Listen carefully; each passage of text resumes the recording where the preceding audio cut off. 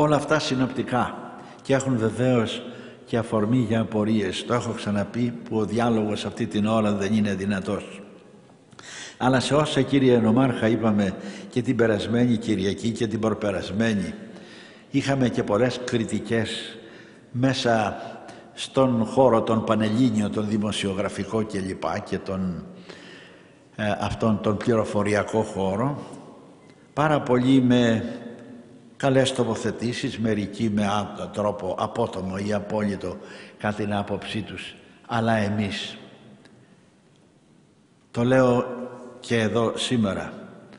Εμείς στην Εκκλησία αυτόν τον καιρό σχετικά με το επίμαχο θέμα που, που βλέπετε τι διαστάσεις παίρνει και στην πρωτεύουσα ως Εκκλησία και όταν λέμε Εκκλησία δεν λέμε εμείς οι επίσκοποι καιρείς αλλά όλοι εσείς για ό,τι κάνουμε με εσάς το κάνουμε εμείς δεν έχουμε ούτε ε, μια μηχανή να κόβει χρήματα ούτε έχουμε τίποτε άλλες προσόδους παρόλα όσα λέγονται. Ό,τι κάνουμε με εσάς το κάνουμε.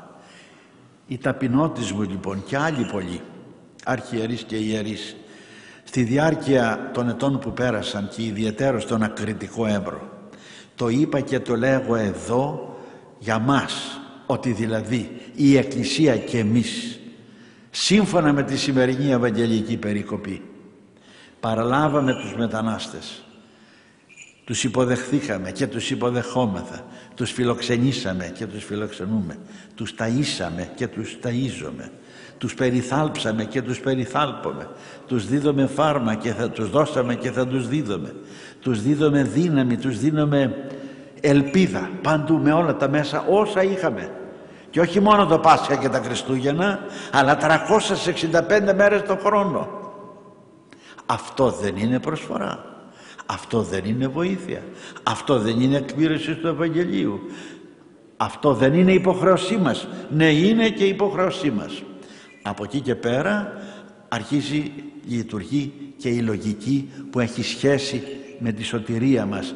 Δεν μπορούμε εύκολα εμείς να κάνουμε κάτι διαφορετικό από εκείνο που είμεθα και οι άνθρωποι αυτοί, οι πλήστοι, όχι όλοι γιατί υπάρχουν και άλλες διακρίσεις δεν μπορούν να ενταχθούν στον δικό μας πολιτισμό και στη δική μας την παράδοση. Γι' αυτό λέμε, όχι τίποτε άλλο ότι πρέπει να υπάρξει πάρα πολύ προσοχή. Και κατά την συζήτηση του νομοσχεδίου αυτού διότι αυτό το νομοσχέδιο βάζει υποθήκες για την Ελλάδα και την ελληνική κοινωνία. Αυτό να το ξέρουμε. Ήδη οικούστη προγερού προημερών και από επίσημα χείλη θα εξετάσουμε εάν θα καταργηθεί ή όχι το μάθημα των θρησκευτικών στην εκπαίδευση την ελληνική επειδή έχει διαφοροποιηθεί η συγκρότηση του ελληνικού σχολείου.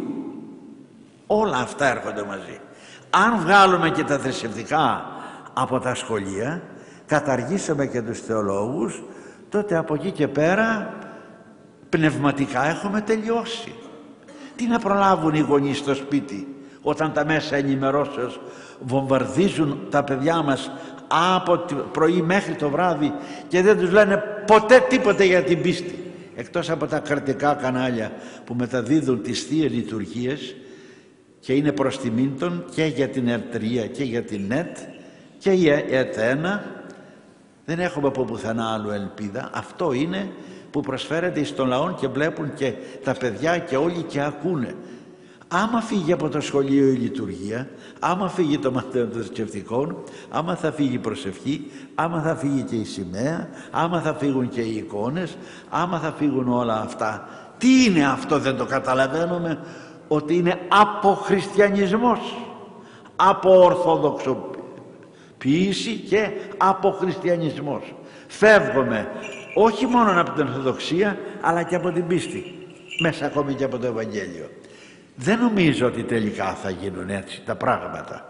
Πρέπει να κρατήσει πνευματική ειρηνική αντίσταση ο λαός για να κρατήσει μέσα στην ιστορία του, στην παραδοσή του και για το μέλλον του και για τα παιδιά του αυτό που εμείς αποκαλούμε ελληνορθόδοξος χριστιανικός πολιτισμός από τους πρώτους αιώνας μετά Χριστόν μέχρι σήμερα.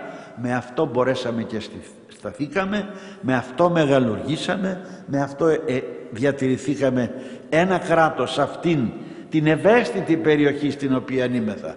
Διότι αν ανοίξετε τον παγκόσμιο χάρτη, επίπεδο, όχι κυκλικό, θα δείτε καθώς είμαστε στη μέση της Μεσογείου, είμαστε γεωγραφικά στην καρδιά του κόσμου. Και είμαστε στόχος. Είναι στοχοποιημένη η Ελλάδα για πολλά θέματα. Και μόνον οι λαοί κατορθώνουν να, να κρατήσουν αντίσταση, ειρηνική ιδίως, μόνον οι λαοί είναι εκείνοι οι οποίοι μπορούν να διατηρήσουν την προσωπικότητα και το περιεχόμενο του πολιτισμού εκάστου λαού όταν μάλιστα αυτός ο πολιτισμός δεν ενοχλεί κανένα. Από εκεί και πέρα δεν θέλω να επεκταθώ περισσότερο.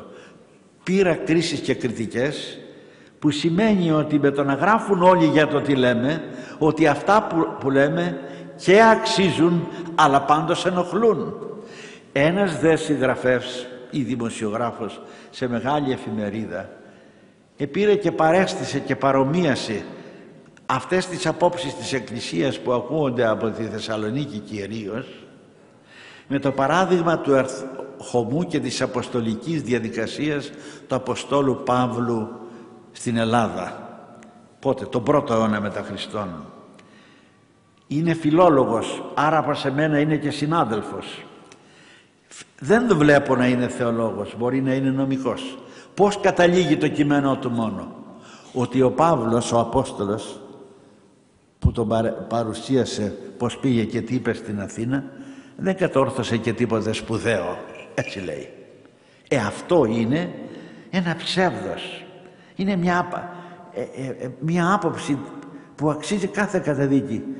Ο Παύλος ανέβηκε στον Άριο Πάγο που δεν είχε ανεβεί ποτέ άλλος άνθρωπος από Αθηναίο και μίλησε στους Αθηναίους για τον Χριστό που δεν ήξεραν τίποτε και μίλησε και για την Ανάσταση. Πάρτε το κείμενό του στις πράξεις των Αποστόλων αδελφοί μου βρείτε το είναι ένα κείμενο αιωνίου αξίας. Πώς δεν έκαμε τίποτε αφού λέει στο τέλος οι μεν του είπαν ακουσόμεθά σου και πάλιν όταν ξανάρθεις μας τα λες. Άσε μας τώρα εμάς μας βασανίζεις με αυτά αλλά όμως ευρέθησαν ο Διονύσιος και η Δάμαρης. Και ο Διονύσιος είναι ο Αραπαγίτης ο μεγάλος νομικός και θεολόγος που έγινε πρώτος επίσκοπος Αθηνών. Πως δεν έπραξε τίποτε.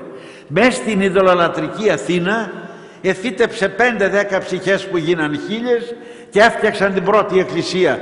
Το ίδιο έκανε στη Θεσσαλονίκη μας, το ίδιο έκανε στους Φιλίππους, το ίδιο έκανε στην Κόρινθο, το ίδιο έκανε στις εκκλησίες της Μικράς Ασίας. Δεν έκανε ο Παύλος τίποτε ή δεν έκανε ο Πέτρος τίποτε στη Ρώμη που στο όνομά του είναι η μεγαλύτερη εκκλησία της Ευρώπης χτισμένη πώς και γιατί γιατί οι άνθρωποι αυτοί με όπλο την πίστη και με πράξη τα καλά έργα μαζί οικοδόμησαν των λαών και μέσα στις ψυχές των ανθρώπων εκαλλιέργησαν το ιεραποστολικό φρόνημα που σέβεται με την ανθρώπινη ελευθερία αλλά κηρύσσει Ιησούν Χριστόν εσταυρωμένων αλλά και αναστάντα εκ νεκρών για τη σωτηρία τη δική μας. Δεν έχω να πω τίποτε περισσότερο. Ο Θεός να είναι πάντα μαζί μας, κοντά σε όλους και να φωτίσει όλους τους πολιτικούς μας στη Βουλή των Ελλήνων αυτό το νομοσχέδιο να υποστεί και άλλες τροπολογίες από όσες υπέστη τις ημέρες μετά από τις παρεμβάσεις που έγιναν ώστε αν τελικά θα είναι τόσο εξυπηρετικό για τους μετανάστες πάντως να μην είναι επιβλαβές νομοθέτημα για την Εκκλησία, για την Ορθοδοξία και για την Ελλάδα. Ο Χριστός μαζί μας και όλα κατευχήν. Αμήν. Mm-hmm.